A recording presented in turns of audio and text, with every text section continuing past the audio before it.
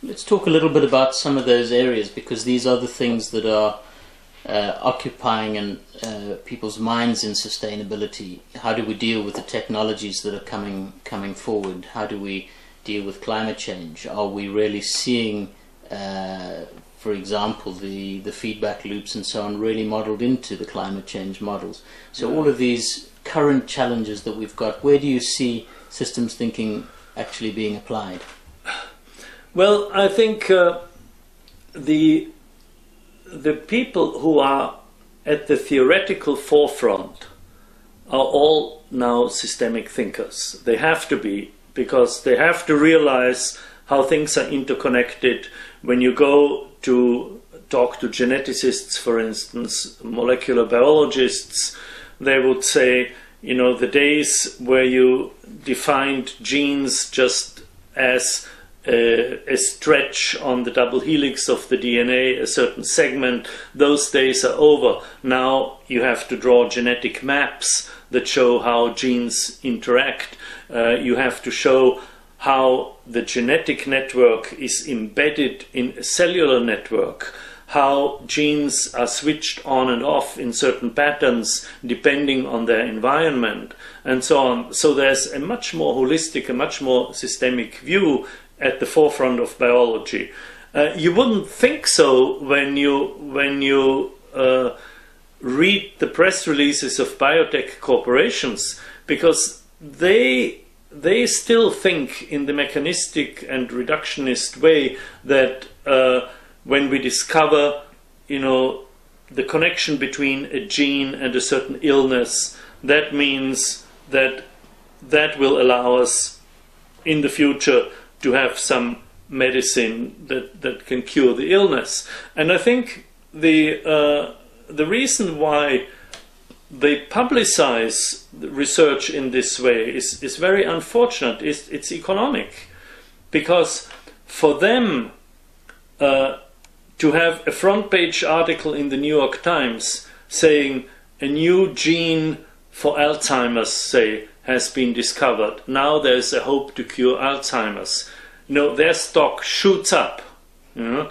By, by the time, you know, half a year later, where they discover it's actually much more complicated, which is then reported on page 25 in the New York Times. By that time, they have moved on to something else, and there's another front page article.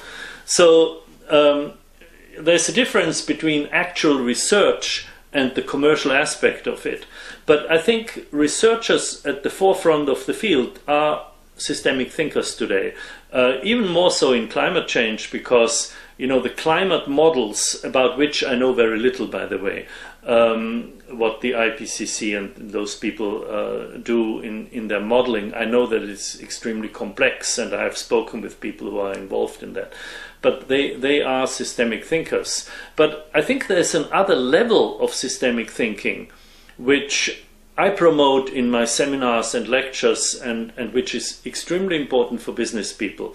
And that is just to realize that today there are no more local problems, that the kind of cars we drive, the kind of consumer choices we make, the kind of choices of how to run a factory or a business that we uh, that we make uh, influence the health and safety of large populations in Africa, in Asia, in South America, in other parts of the world. Let me just give you an, one example.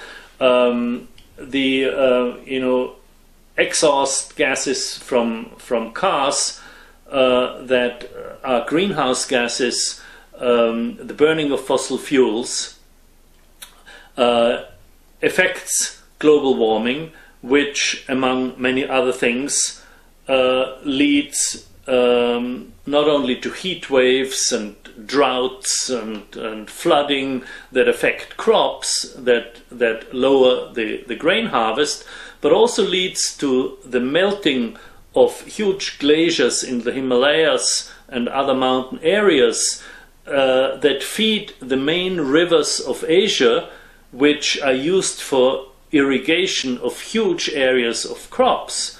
And as these glaciers melt, and the rivers uh, carry uh, then afterwards carry less water, uh, there, there is the threat of huge famines that, that will arise as a result of global warming, which is a consequence of the fossil fuels we burn in our cars. If we used you know cars like the the one I, I just picked you up in the Toyota Prius which gets my car gets 42 miles per gallon and there are better ones on the market today that get 50 miles per gallon and more.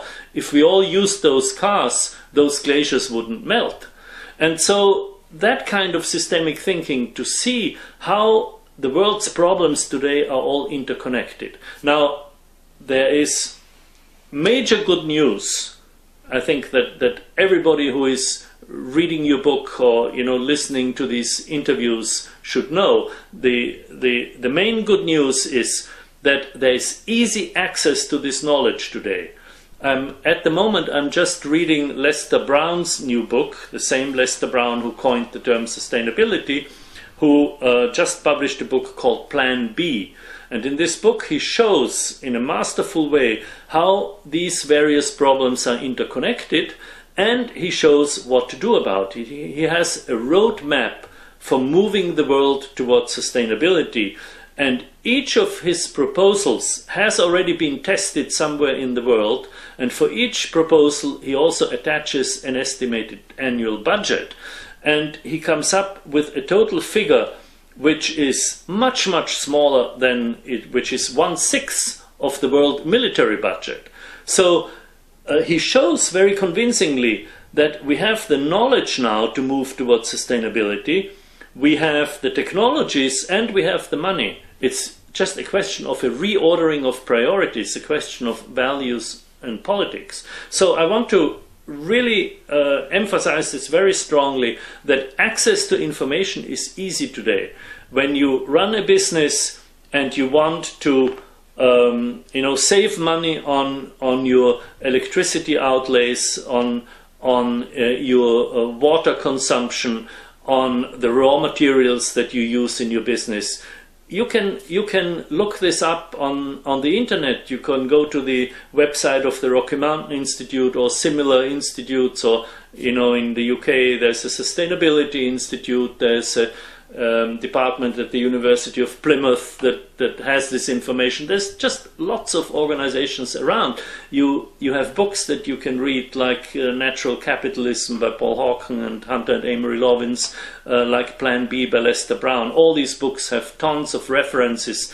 So you know there's there's no real excuse for not doing it. And of course you can hire these people as consultants and they will send teams into your company to advise you.